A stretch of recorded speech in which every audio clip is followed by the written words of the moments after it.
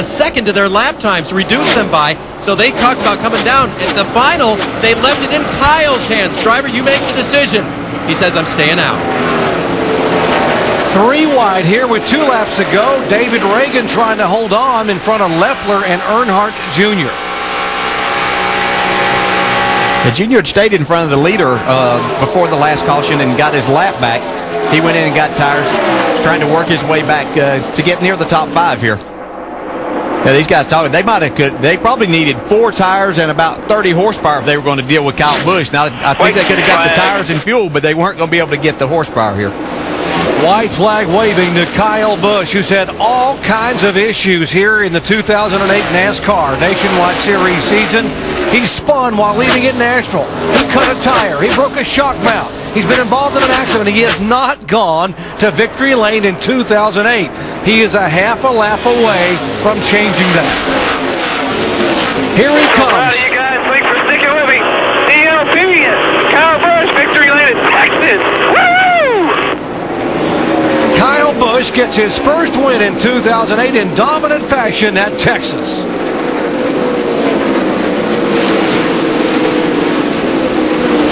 Can't keep a good man down. not, not, not forever.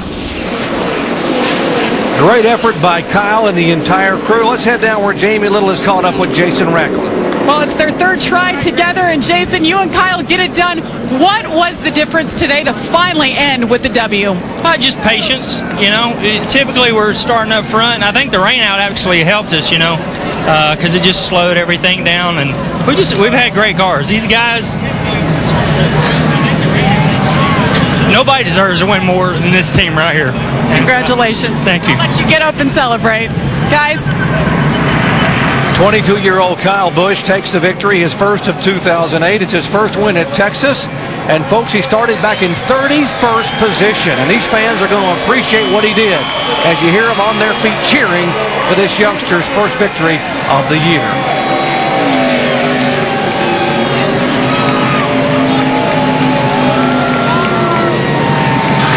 Takes the win over Jeff Burton, Clint Bowyer, Bobby Labonte, and Jamie McMurray, the top five. When we come back, we'll visit with Kyle in Victory Lane.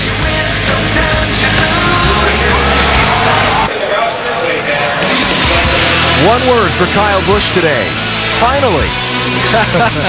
Finally, he gets the checkered flag, does the victory burnouts, and celebrates a win this season in the NASCAR Nationwide Series. Kyle with his 12th Nationwide Series victory. And he will take that checkered flag to Victory Lane where he will collect a trophy, probably a little shower, and a few other things from his teammate, uh, and an awful lot of backslaps. Remember, his sponsor both today and tomorrow are Dallas-based companies. Dave? Yeah, Alan, and that means uh, the parties may be just that much sweeter around the Dallas-Fort Worth area today. A lot of fives going out to his crew here. And Kyle, this makes an even dozen for the times that you visited Victory Lane in the Nationwide Series, but we got to believe this one means just a little bit more. You know why this one means so much is uh, uh, I finished second here twice, I believe, before my first year here, and then uh, you know again, I don't remember when, but uh, I never won here. Obviously, I proved that because I don't know where Victory Lane is. I got lost on my way here, so this feels so good. This place is just so hard to win at. And for me, it's just um, you know extra special to bring DLP their first NASCAR victory, and you know to bring Toyota here to Victory Lane at Texas, and uh, all these guys. I mean, they work so so hard on these things, and I've torn a couple of them up, and you know it's just. Uh, yeah, I also want to thank my fans for sticking with me. You know, it's been a tough time in this nationwide series, but finally we're able to get somewhere here today. We won one, and now if we can just keep it going like this, that'd be great. Caution almost killed you again. How tough was that to stay out in that last one? It was tough because uh, I just wasn't sure why, you know, why we wanted to come in and pit. But um, I knew four tires were going to be fast, but I didn't know if I could get back through traffic. You know, this place is pretty aero sensitive. Always has been from the beginning, still is.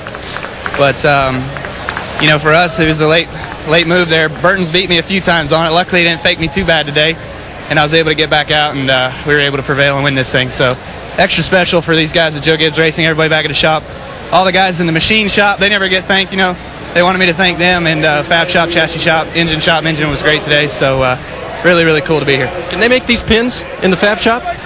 They can. They can make them look like whatever you want, man. Smile with Kyle in victory lane here in Texas, guys.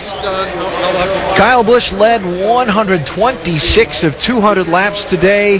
Had a little bit of drama late, but it was the good kind for him today, unlike the misfortunes he suffered so far this season. We have a ton more post race coverage to come from Texas. Hope you'll stay with us. We're coming right back.